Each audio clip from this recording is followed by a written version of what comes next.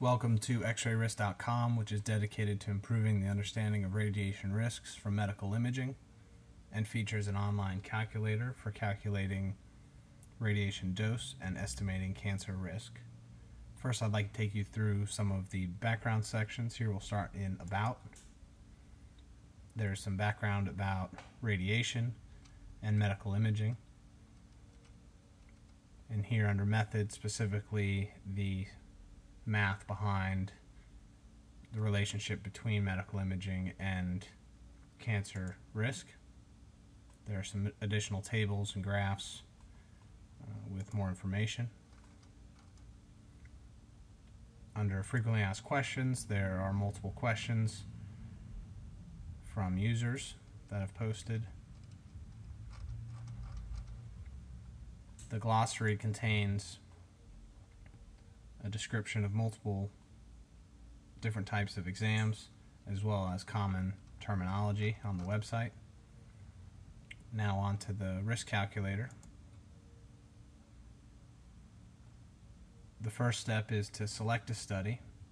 You can select from plain films or x-rays, CT scans, fluoroscopic exams, nuclear medicine, and interventional procedures.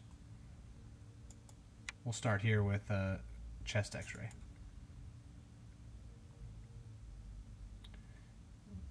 You can see chest x-ray was entered in under study.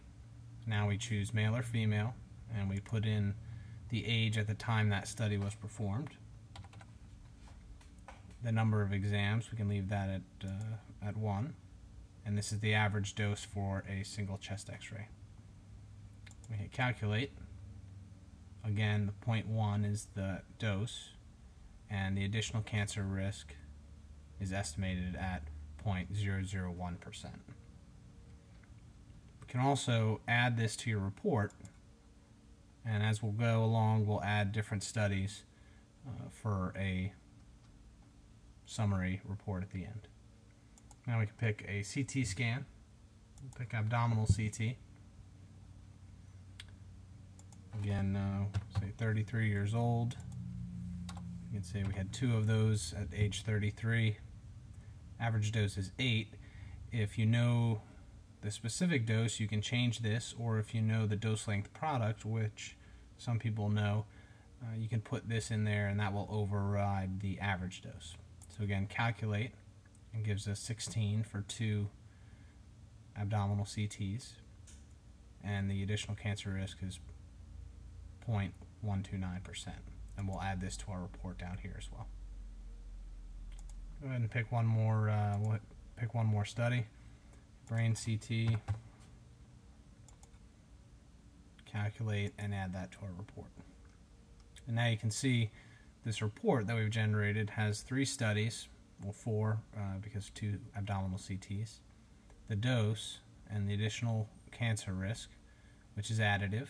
We've added that here. If, if you've made a mistake and uh, want to delete a study, you can click this red X. Uh, this again, the site has some comparison doses, some some more information about what this risk means.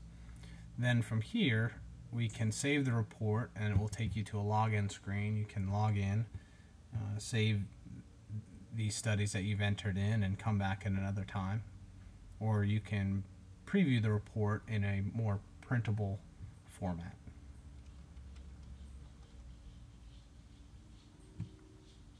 Take you back to the home.